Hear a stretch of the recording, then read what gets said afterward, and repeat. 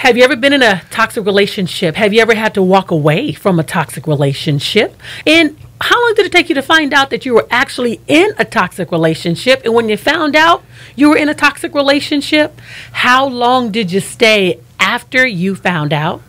And if you walked away, did you return back to that toxic relationship? Hi, you're live with Lady Charmaine. What's your name? Where are you calling from? Hi, Lady Charmaine. This is Pamela Garrison, and I'm calling from Modesto, California. Hey, Miss Pamela, how are you? I had to come on the line on that. I- well, thank you for calling in.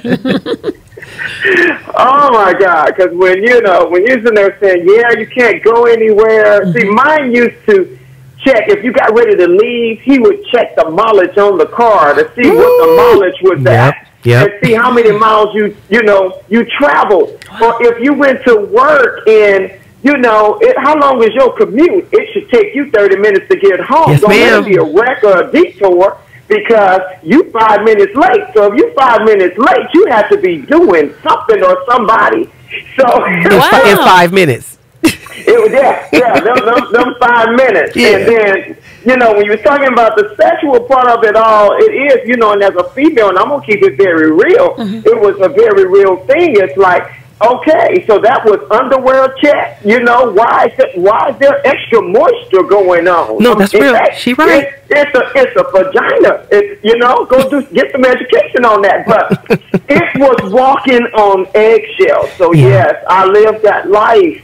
And you know the name calling, but a lot of people go, "Why didn't you just leave?" See, I didn't even know I was in danger. right. That part. hmm I didn't know I was in danger till somebody brought it to my attention, and they said, "You know, you you're in danger." I said, "No, I'm not." And I still didn't want to hear. Mm-hmm. I didn't want to hear. It's like, "No, I'm not." But they saw an altercation on my job in the parking lot. I was mm. embarrassed, mm. but I didn't know I was in danger.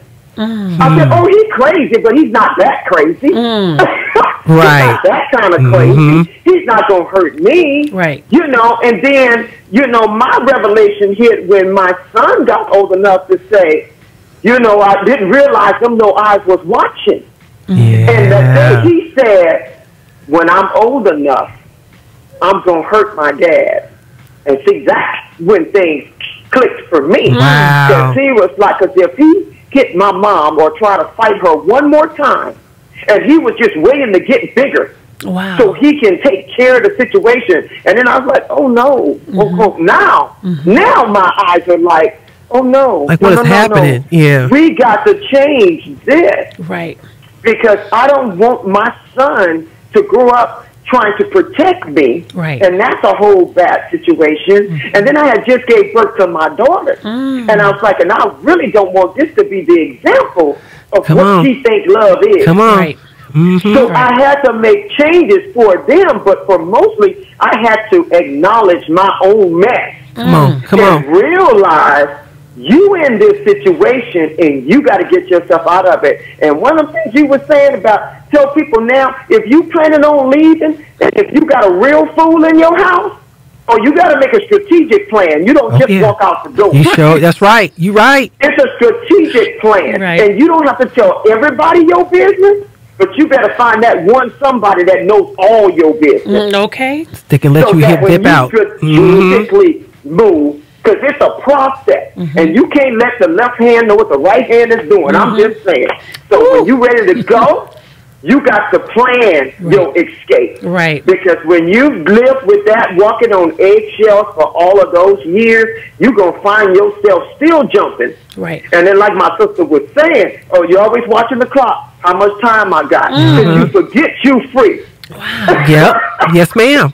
Yeah. You forget you are free. And you trip off of how much it impacts you. You don't even realize it's impacting you like that until you're free. Yes. Yeah. Mm, Pamela, thank Yeah. you so much for calling in and You sharing are your so story. welcome. Thank you. So welcome. And have a blessed day. Yes, you guys too. Thank you. Bye bye. You know. Hi, you're live with Lady Charmaine. What's your name? Where are you calling from? Sacramento. This is LaShawn Hi, calling LaShawn. Sacramento. Hello. Hi, I wanted to touch on them bases because I was in a toxic relationship for 10 plus years. Mm, okay.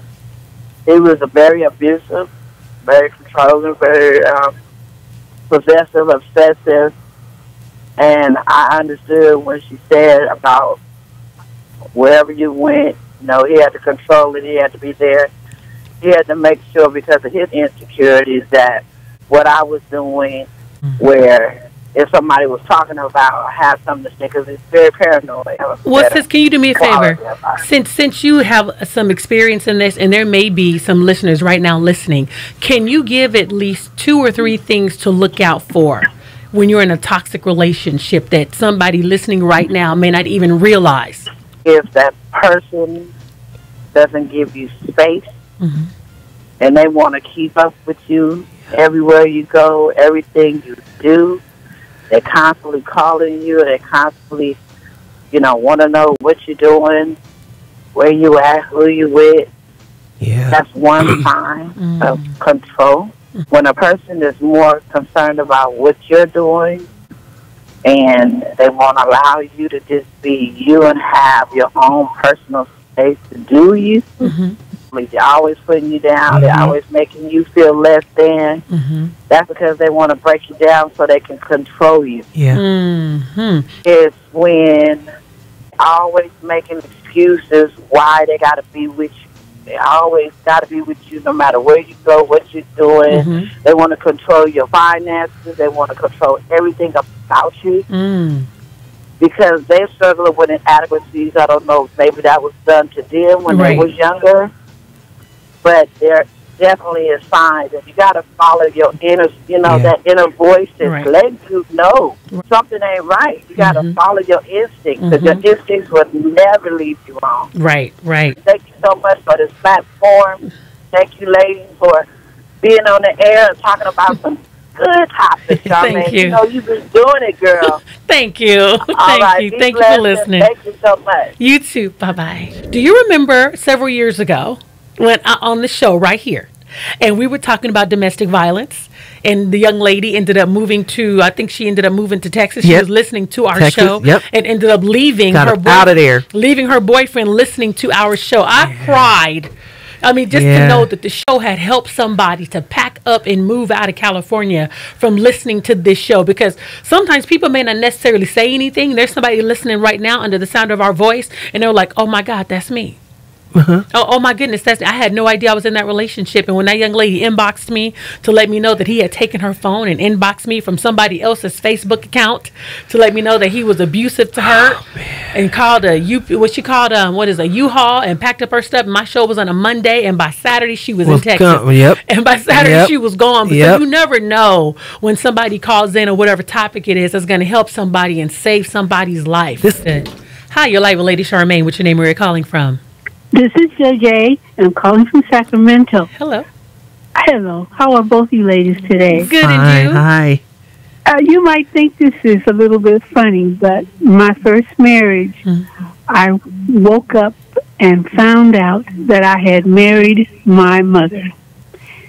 And my relationship between my mother and I was toxic. Ah. Oh. When he swung and hit me dead in the face, I, I, uh, two bentwood chairs, and I broke him on on his back, and I walked out of that house with the temperature down to 18 degrees in mm. December in Washington State. And I walked two miles to a family to help me, and I never went back. Oh, praise God. Wow.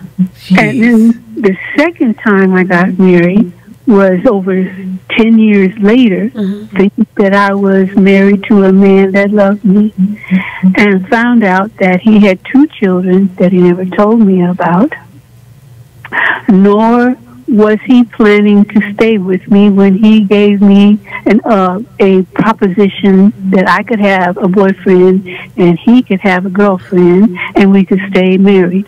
I knew it was time for me to go. Yeah, I think so too. That was a good Yeah. decision. You're a strong sister, though. You're like, look, th- that's enough. I'm gone. I'm out. Hi, you live with Lady Charmaine. What's your name? Where you calling from? Hi, Lady Charmaine. My name is Stacy, Hi, Stacy. and I'm calling. Hi, I'm calling from Rancho Cordova. Um, you know, her, uh, and I do apologize. I just got in my car and turned it on, and you were talking about toxic relationships and how she was saying if you don't have God with you, Mhm. sometimes you won't even know Mhm. because I had got back with my husband after many years, And so my daughter wanted to see him and this and that and the other. But he used to really talk real crazy to me. You know what I'm saying? Mm-hmm. Real verbally abuse me after so many years of separation. But just like, um, and I apologize, I don't know your name, the Marie. other panelist, Yeah. Marie. Yeah. But you know, when you said God started revealing things, Girl, oh, girl. me. girl, I didn't have to. I didn't have to go off. I didn't have to cuss. I tell you, I prayed him out, girl. One morning I woke up and he was gone. I was like, That's real life. That's real life. Yes. Yes, ma'am. because I know God. That God brought him here for a short period of time. He was here with me for three years. He was great with my grandbaby. Never raised his daughter, but he's the great, best grandpa in the world.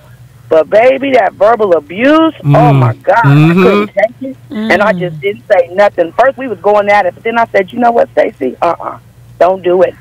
I just shut down and just let him do what he had to do, girl. And I woke up one morning and I just prayed him out, prayed him out, girl. I woke up one morning, he was gone. Uh-huh. yep. Say praise the Lord. that day Yep. I did, girl. I thank him every day for that. But he had his he had his reason for there. He did great grandpa, but husband, uh uh Mm, yeah. no, Well, no. But I just thank wanted you, to throw that in Stacy. there because God is so good. Yes, ma'am. Amen. Yes, he is all the time. Thank you so And much, Stacy, for sharing your story.